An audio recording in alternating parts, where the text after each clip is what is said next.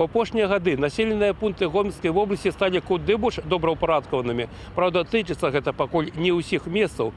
Калі на цэнтральных вуліцах чысціня і прыгажосць, то недзе сваёй чаргі трапіць на звалку чакаюць десяткі тонн смецця. Гомельскія могілкі асаўцы адны з самых вялікіх у рэгіёне. Іх тэрыторыя каля 40 гектараў. Работнікі камунальных службаў кажуць, што зімой смецця тут не вельмі шмат, але з надыходам вясны сітуацыя змяняецца кардынальна. У гэтыя дні кожны тыдзень асюль вывозіцца да 40 тонн адходаў, для утылізацыі якіх з бюджэту кожны раз выдаткоўваецца больш як мільён рублёў. Напярэдадні радаўніцы аб'ёмы смецця, якое нават нельга выкарыстоўваць для другаснай перапрацоўкі, павялічыцца ў разы. Але калі ў горадзе праблемы па навядзенні парадку яшчэ вырашаюцца камунальнікамі за счет бюджэту, то ў сельскай мясцовасці сітуацыя не такая адназначная. Адпаведныя работы тут аплачваюцца мясцовымі саветамі з іх не вельмі значнымі аб'ёмамі фінансавання. Основная проблема здесь отсутствие контейнерных площадок, и э, население приходит, когда убирают э, отходы от уборки кладбищ.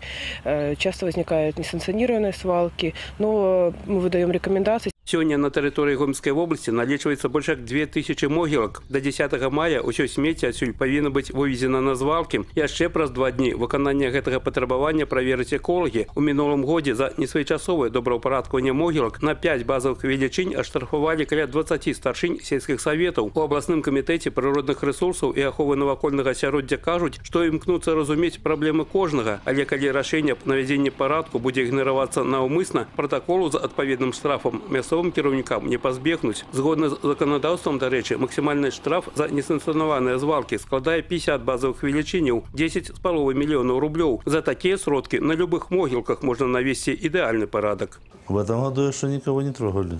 Мы им дали срок, предупредили, дали срок на 10 мая.